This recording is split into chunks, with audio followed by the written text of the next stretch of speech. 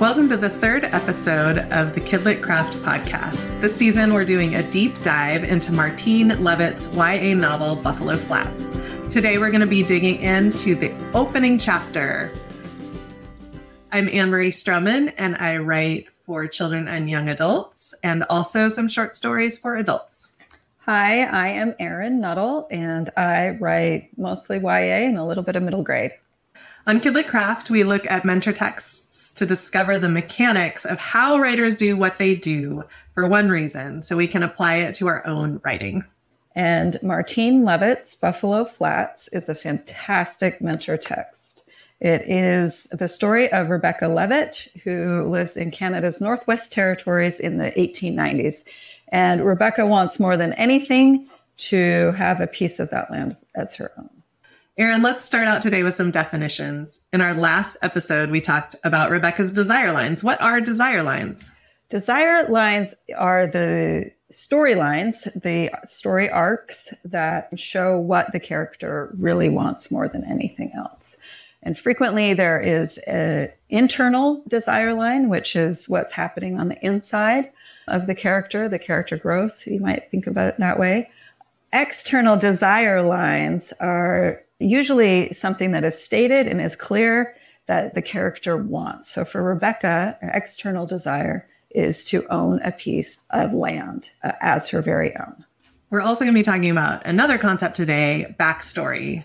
Can you introduce us to backstory? Well, I do think that backstory kind of gets a dirty name sometimes. It is everything that happened before the book opened things that makes the characters who they are and the choices that they make. And the reason that gets a bad name is that sometimes people do what is called an info dump, which is where they just give a whole lot of backstory in one spot, which can be distracting to the story and sometimes boring to the reader.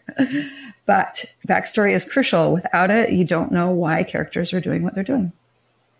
In the last episode, we talked about just the first scene, and that first scene did a lot of setup for the entire novel. But there's more setup coming. First chapters have a really tricky job. They introduce readers to a character in their world, they set up what's going to come after that. And the best ones have forward movement in them. It's not just a plain description telling you the state of the world, something's actually happening in the first chapter. And I would put the first chapter of Buffalo Flats in this best ones category. Let's look at what Martine does in the four scenes that make up chapter one. We looked at the first scene in episode two. Let's dig into the second scene.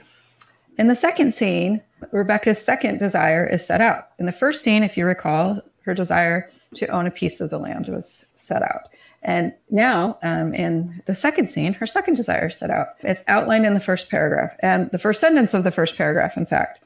Now that she'd had a sit with God, Rebecca supposed she would be expected to love not just the mountains, but love the people too. Um, it goes on to say she figured she might be able to love the world, or at least the general idea of it, if she didn't have to love people in particular. So that sets up I will say that. Can you relate to this, Erin? Hey, now. yes, I can. Martine's really good at humor, which we will get to later. But right here, she sets up her desire and immediately uh, what's going to be a little bit difficult for Rebecca to be able, why she's going to have a hard time with this desire. So tell us a little bit more about that if her desire were able to be fulfilled right away, the book would be over. So she's going to have some obstacles. What do we know so far about the obstacles for Rebecca? Rebecca is a flawed character, which is what you want. If you had a character who was perfect, the book would be boring and people would not be able to relate to your main character. And Rebecca is flawed and she knows it. Not only does she say that she doesn't want to love people in particular, she goes on to list some of her uh, weaknesses. She says, People were always unhappily surprising her by being just like her scared sometimes, selfish sometimes, tired and lazy and thoughtless and uncertain. Martine does not leave it there. Poor Rebecca. She was, she had to admit, at times unlovely of temper and thought a dozen unkind thoughts a day. At this very moment, she could think of a dozen unkind thoughts about her brother Ammon alone. So we know that, again, there's a little bit of humor there. We know that Rebecca has a ways to go. She wants to love people the way God loves people, but she is human and will definitely struggle with that. And part of the joy of this book is to watch Rebecca try and try and try to make this happen. And it isn't easy. So, where does this scene end? Where does Martine leave us with this little scene? It ends with Rebecca contemplating what she can do. And she says, She suspected she had been born more naturally wicked than others, and a lifetime of humble reflection would never make her as good as mother and her best friend LaRue Fletcher already were. Considering everything, being as good as she needed to be was an appalling prospect given her natural inclinations. But what else could she do? It was time to reform. So Rebecca sets out with a goal to become a better person. And that is the end of that scene. Something that Martine does well is really clarifying the desire for the reader about what her characters desire. And so we have her desire at the very beginning, well, the entire scene, really, but it's clearly stated at the beginning, the first sentence, and it's clearly stated at the end of the scene as well, the last sentence. So you can even look to this not just for identifying desire lines, but how you might even structure a paragraph that introduces the desire line too. Oh, definitely. Nitty gritty. And we have a lot more to talk about desire in another episode, I think. So, how about scene three? What happens and how does it help us get to know Rebecca and her story? So, scene three is the dreaded backstory, except Martine does it in such a beautiful way that you don't almost don't even notice that you're being drawn into the past the first line pulls you right in. She says, Rebecca had come to her parents, a daughter after six sons. And then she goes on with a description of the family and what they're doing in the Northwest Territory. Talk to us about how Martine incorporates this backstory. We've talked about the dreaded info dump or it being a big chunk. I start nodding off when that happens. How does Martine avoid this? She does it a few ways. One is she does tuck little pieces of backstory I mean, you might wonder how, when she's so focused on desire in the first two scenes, how this is possible, but she does tuck tiny pieces of backstory into the previous scenes. Um, another way that she does it is with short, quick sentences. So, Rebecca, as we just read, was a daughter after six sons. Well, not all six of those sons are going to come with the family to the Northwest Territory. And so Martine dispatches with those brothers real quick, just short sentences about each one of them. So we know who they are, where they are, and they're gone. Uh, and we don't have to worry about them anymore. Another way that she develops backstory in an interesting way is unsurprisingly through humor. This is about her own birth. The way Ammon told it, when Rebecca came along, she was an afterthought, a shrug, after the straight shouldered pride of all that male offspring a concession to God that they must take the bad with the good. Yeah. Ouch. Mother said it hadn't quite gone like that, but Rebecca tended to believe Ammon. So not only does that give us our backstory, it's funny and it tells us a little bit about the relationship between Ammon and Rebecca. Throughout this book, Martine layers multiple strategies in scenes and sentences. So these do heavy lifting. They're, they do more than one job. So it's not just backstory, it's also funny. And it also tells us about the sibling relationship. And it gives us a little bit of insight into how Rebecca sees herself as well. There you go. See, we could probably think of five more things it does, but. So, how does this scene end? So, it shows how her family is actually a loving, like her home is a loving place to be and a place she wants to be. It says, The house was made of logs, hauled from timber and sawn and dovetailed by hand. Father hadn't used a single nail in the building of it. It seemed more beautiful than ever to Rebecca this evening as she rode up, lamplight glowing, through the sugar sack curtains. In her everyday voice, as if her heart hadn't landed on God, she said, I'm home.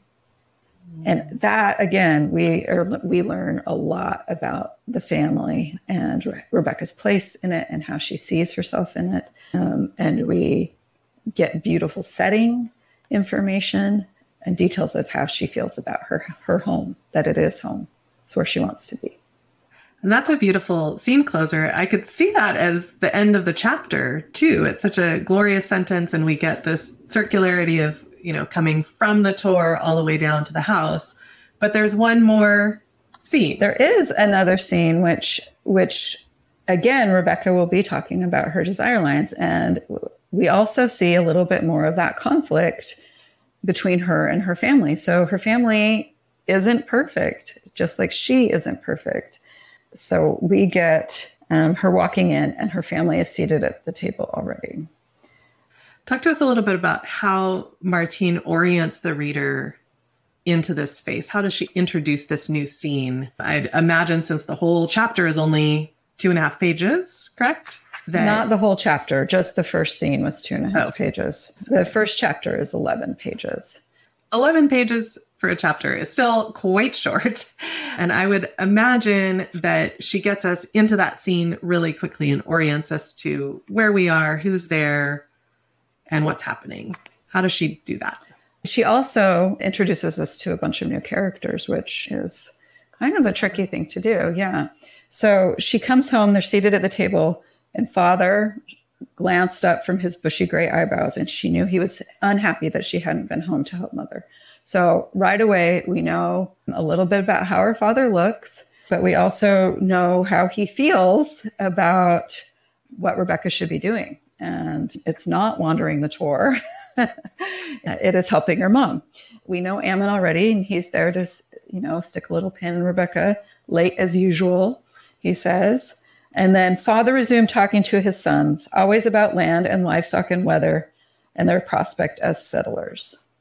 We get a little bit right there about homesteading and what it is, what it entails, um, that you have to live on the land for three years and put a house on the land and also farm the land.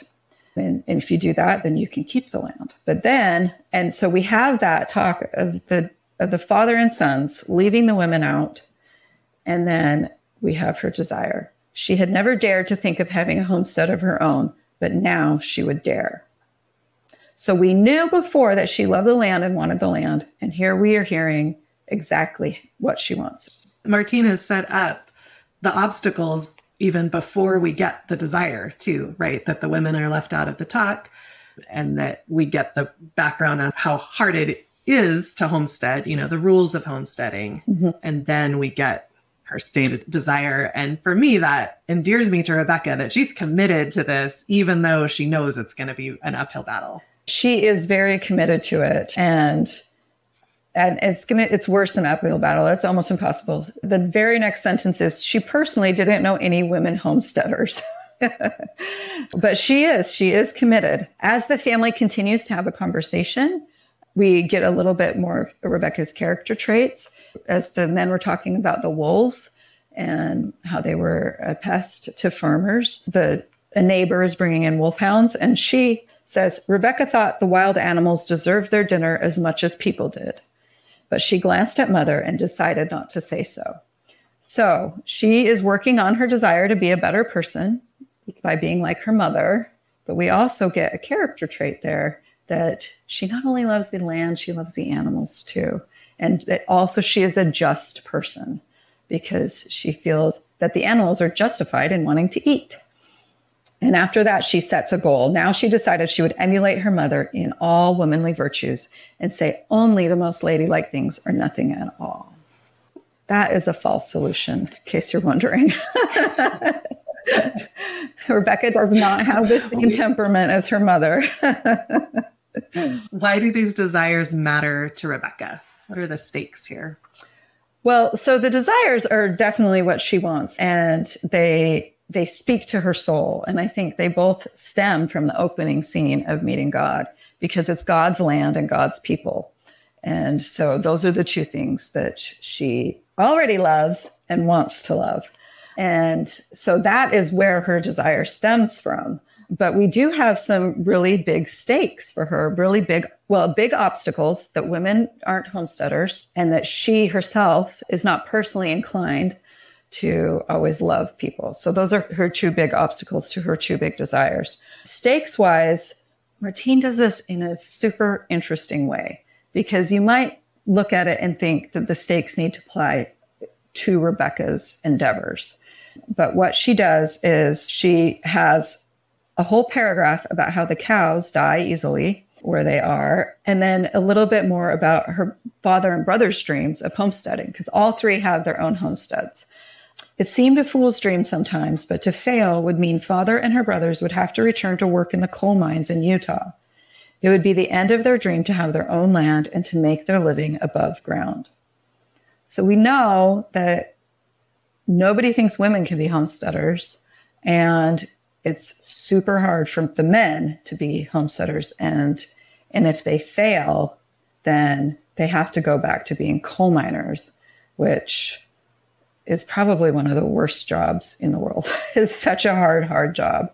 And they would have to leave the beautiful land. I, I just found it fascinating that Martine used the stakes of her dad and her brothers to underline the stakes for Rebecca. And we know from that opening section how much she loves the land and having to leave would be such a cost to her. Right. right? It would wreck her life. Right.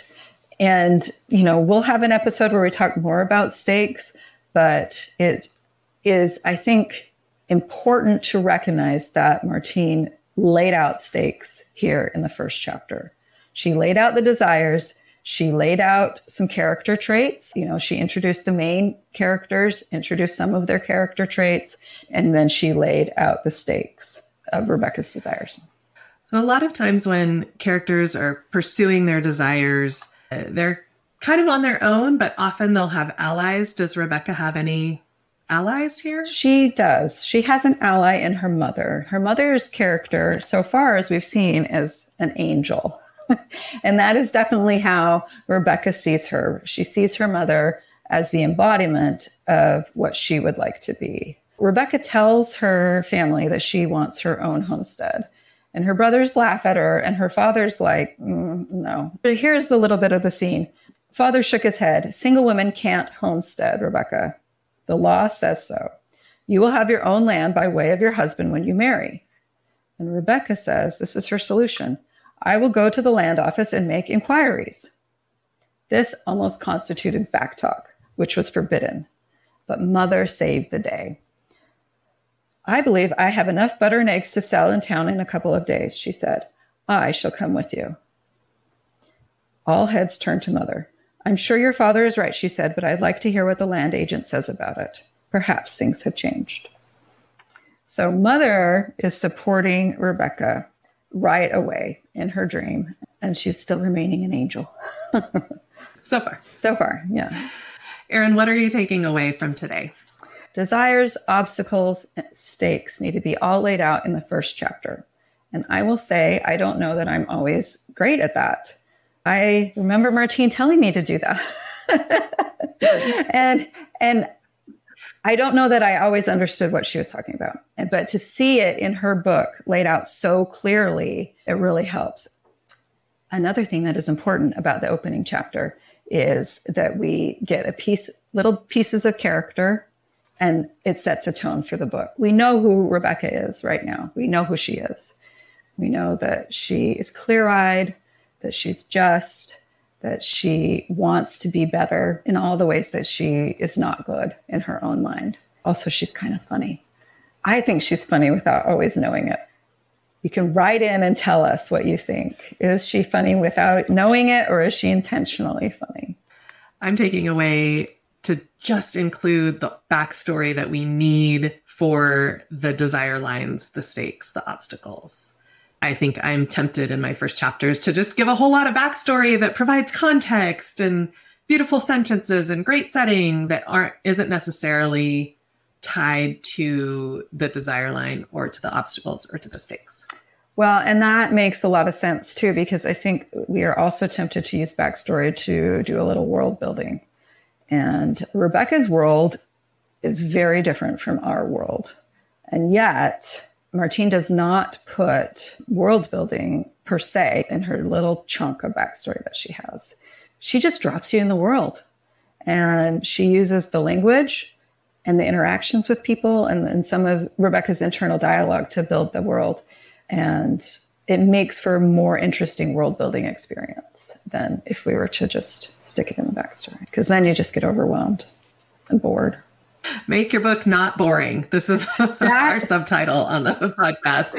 that is our key. Make your, that's yes. Episode three How to Make Your Book Not Boring. Erin, what one beautiful sentence have you chosen today?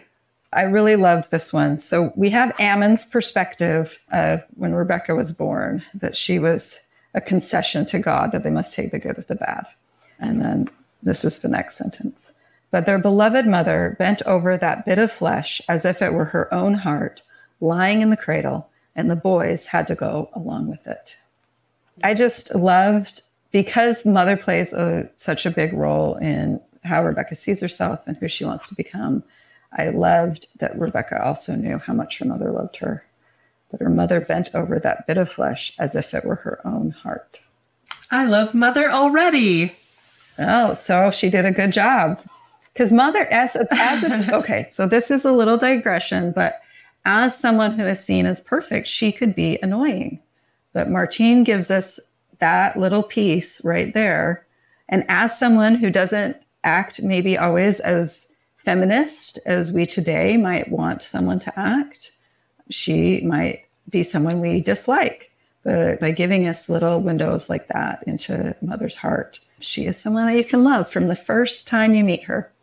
Yeah, and we might expect if she's this angel figure that she's Rebecca idealizes her, but we might expect her to behave in a way that's very compliant with social norms and, you know, living up to that ideal. And yet, one of the first things she does is ally herself with Rebecca to go to the land office, which seems like maybe its own little rebellion in a way. And we can see that the way that we might expect Mother to be is not how she actually is. There's more depth there. Exactly. So it's a little bit of intrigue. All right. That's it for today. We're so excited to take this journey deep into craft with you. If you're excited too, you can find more content like this at kidlitcraft.com. Find us on social media at kidlitcraft, and you can support this podcast on Patreon. We'll be sending out Kidlit Craft stickers to the first 20 subscribers please download episodes, like them, rate and review us, and let your writer friends know about the podcast. We'll see you next time. We can't wait to nerd out with you.